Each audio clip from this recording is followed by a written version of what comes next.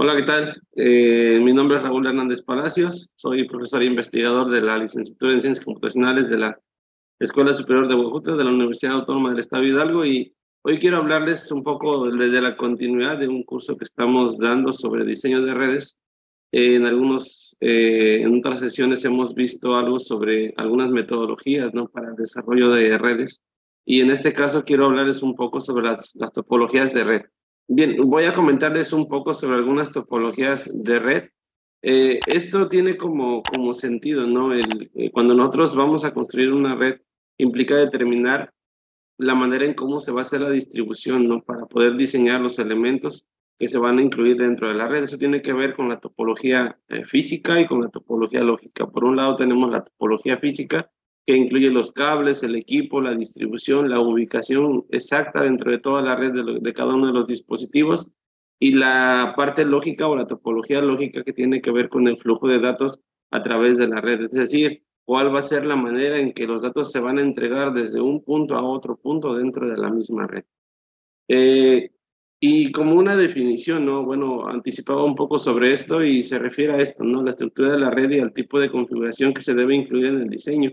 Y eso tiene que ver, como lo expliqué ya con anterioridad, con la topología física y la topología lógica. Ambos elementos o ambas configuraciones, porque en sí son configuraciones, eh, van a formar la topología de red.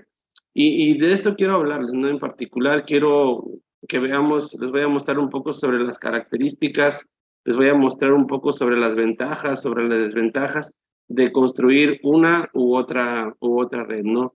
Eh, como sabemos, eh, hay diferentes tipos o topologías de red.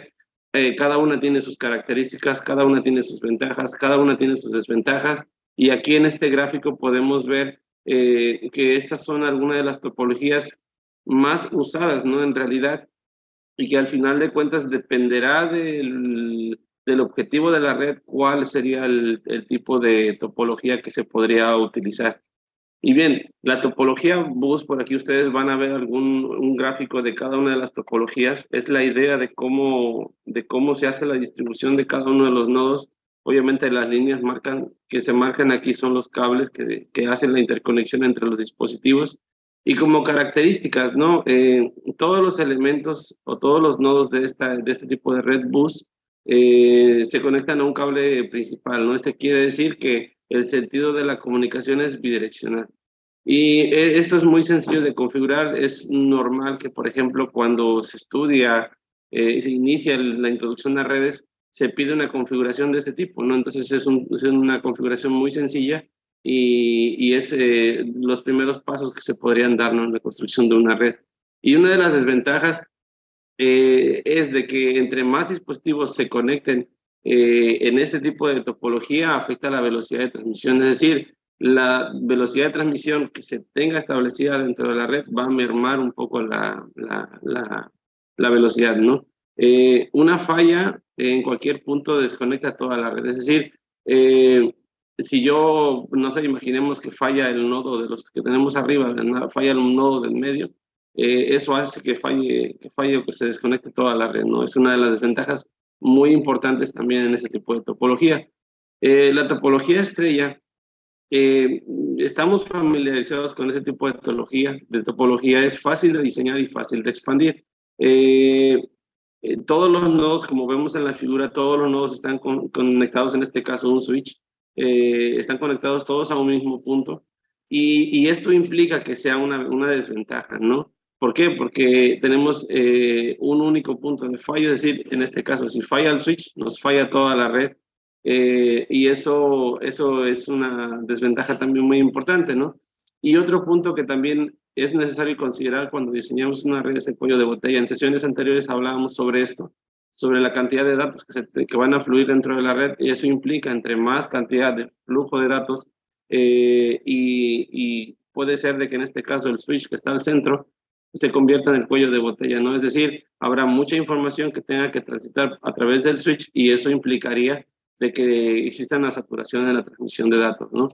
Eh, en cuanto a la topología árbol, eh, una de las características es de que esta es una evolución de la topología anterior, de la topología estrella, y eh, se considera todavía más escalable. Y, y, esa escalabilidad es fácil de realizarla. En este caso, el gráfico muestra eh, algunos nodos que están interconectados en cascada, ¿no? que es eh, el tipo árbol, pero podría ser de que uno de los nodos, imaginemos que el segundo nodo del lado izquierdo del árbol, en el segundo nivel del árbol, sea un switch, ¿no? Entonces, eso permitirá una escalabilidad del número de nodos eh, dependiendo la cantidad de puertos que tenga este switch.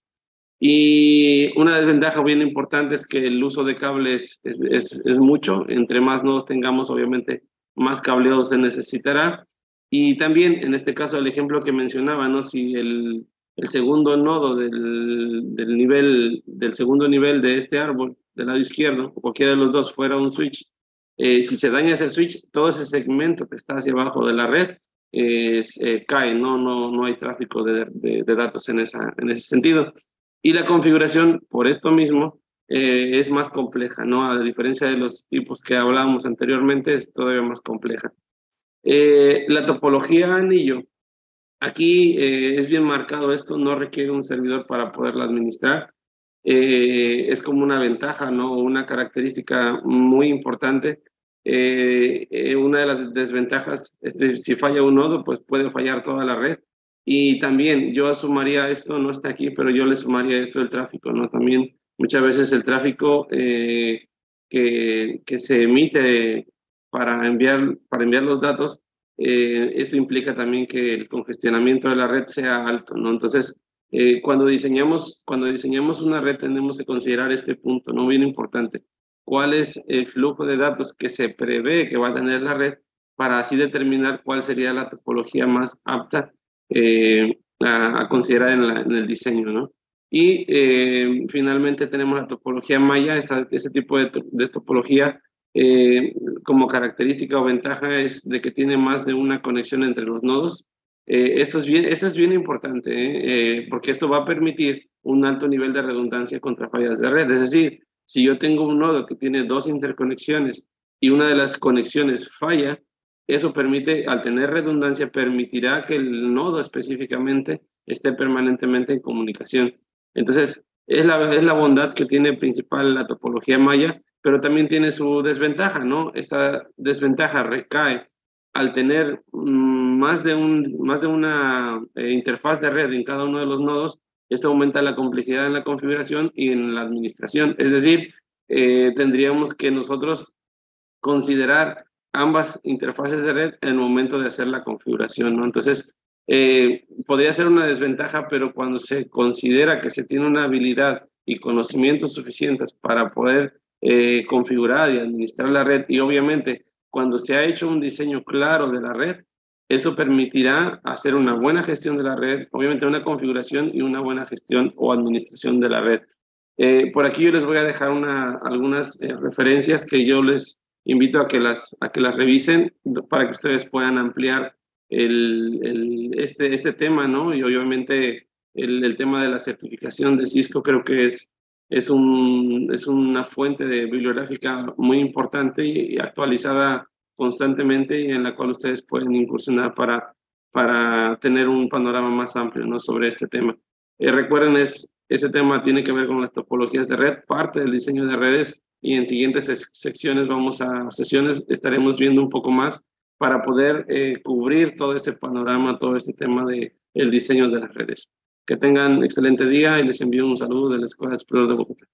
Este video es presentado por el Sistema Ciencia Garza Educativa de la Universidad Autónoma del Estado de Hidalgo.